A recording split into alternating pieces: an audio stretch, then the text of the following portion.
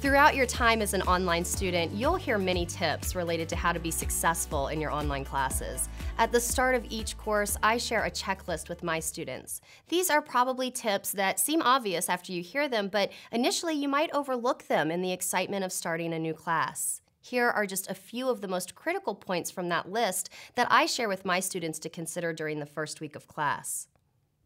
I know that downloading and reading the course syllabus may seem obvious, but it's worth repeating. There's also a section on the first page where you'll find your instructor's contact information. Make sure that you keep this information handy, like in your contacts of your smartphone. That way, you can access it in the event that your computer crashes or you have trouble accessing the classroom. Having this information close by can save you a lot of stress when the unexpected happens. Do you know where the online library is? Make sure that you have shortcuts to the many helpful resources available to you in the APUS online library and throughout the university. Under the Resources and Services tab, there is a resource that I especially like for writing assistance. The Writing at APUS resource is phenomenal, and it will walk you through every step of the writing process. We all know that first impressions are important and they're lasting. Your introductory discussion post is your opportunity to make a good and lasting impression with your instructor and peers.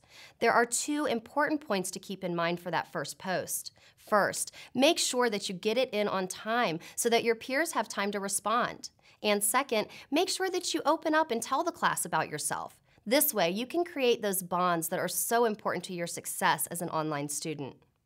This is another opportunity where your syllabus will come in handy. You should take the time to sit down with the syllabus and a calendar in your first week. Here's what you need to include on that calendar assignment due dates for class, personal events and obligations like scheduled appointments, kids' classes, and games. Setting up a physical presence for all of your obligations for school and your personal life will help you to see where you might have time challenges. Trust me, reaching out to your instructor the first week of class is a great idea if you anticipate any scheduling conflicts, and it's also a great opportunity to introduce yourself further. Finally, during this first week, make sure that you get to know your classmates and your instructor. Your peers can be your best resources in the virtual classroom. Take the time to review their postings and learn a bit about them. Find things that you have in common and also things that you can learn more about from them. Building some rapport with your instructor and your peers in the introductory forum can make it easier and more comfortable to reach out if you need help or a study buddy. And it will also make class more enjoyable for the next eight weeks. Are you ready to get started as an online student?